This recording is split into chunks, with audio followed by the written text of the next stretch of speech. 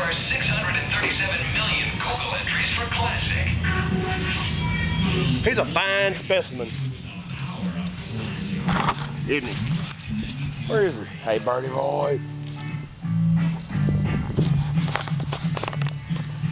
I see a birdie boy rising off the earth since his May 15th birth.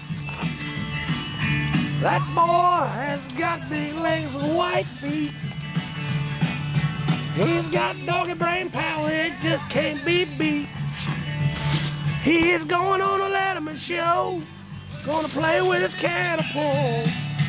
Cause it's his new toy.